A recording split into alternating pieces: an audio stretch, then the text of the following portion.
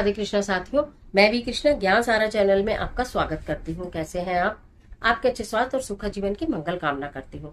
आपके अपने इष्ट देव को कोटि कोटि नमन करते हुए, बड़ों को प्रणाम करते हुए वीडियो प्रारंभ करते हैं। साथियों, आज बात कर लेते हैं योगिनी एकादशी की। आज बात कर लेते हैं योगिनी एकादशी की कथा की। कहा जाता है कि कोई भी व्रत तब तक पूर्ण नहीं होता जब तक उसकी कथा कही या सुनी ना जाए। अभी आप सभी व्रत और पर्व जितने भी आ रहे हैं, सबकी कथाएँ मैं आपके साथ शेयर कर रही हूँ। सुबह आठ बजे आपके पास वीडियो आ जाती है कथा के साथ। तो अगर आप व्रत रखते हैं तो भी कथा को ज़रूर सुन लीजिएगा और व्रत नहीं रखते हैं तो भी कथा को ज़रूर सुन लीजिए बोलो, भगवान श्री हरि विष्णु की जय हो। धनराज युधिष्ठर कहने लगे, भगवान, मैंने ज्येष्ठ शुक्ल के व्रत का महात्म्य सुना है। अब कृपया आषाढ़ कृष्ण एकादशी की कथा सुनाइए और इसका नाम क्या है और इसका महात्म क्या है? श्री कृष्ण कहने लगे, हे राजन, आषाढ़ कृष्ण एकादशी का नाम योगिनी है। इसके व्रत से समस्त पाप नष्ट हो जाते हैं। यह इस लोक में भोग और परलोक में मुक्ति देने वाली है। मैं तीनों लोकों में यह प्रसिद्ध है। मैं तुमसे पुराणों में वर्णन वर्णन की हुई कथा कहता हूँ। ध्यान पूर्वक सुनिए। तो कथा प्रारंभ करते हैं।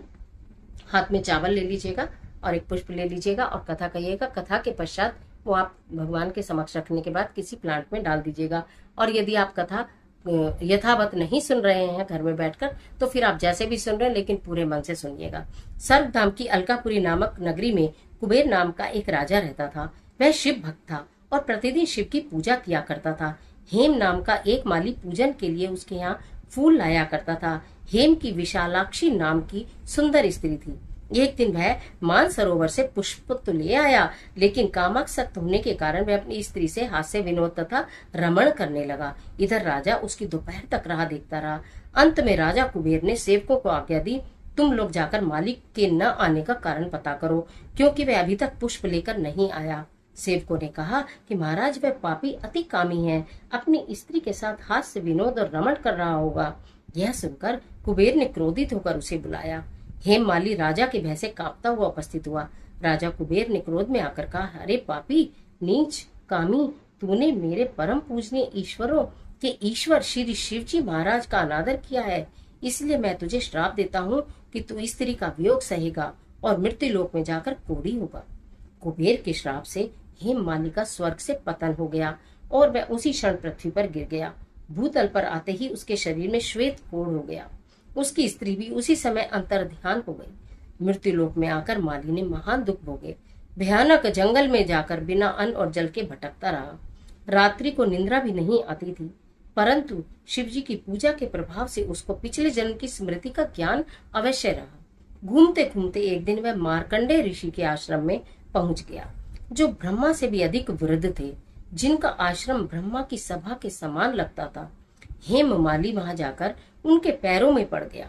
उसे देखकर मार्कंडे ऋषि बोले, तुमने ऐसा कौन सा पाप किया है जिसके प्रभाव से यह हालत हो गई? हेम माली ने सारा वृतांत कह सुनाया। यह सुनकर ऋषि बोले, निश्चित ही तूने मेरे सम्मुख सत्य वचन कहे हैं, इसलिए तेरे उद्धार के लिए मैं एक व्रत बताता हूँ।